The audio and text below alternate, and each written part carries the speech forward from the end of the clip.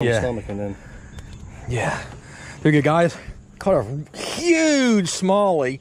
Somebody's jig is down in there.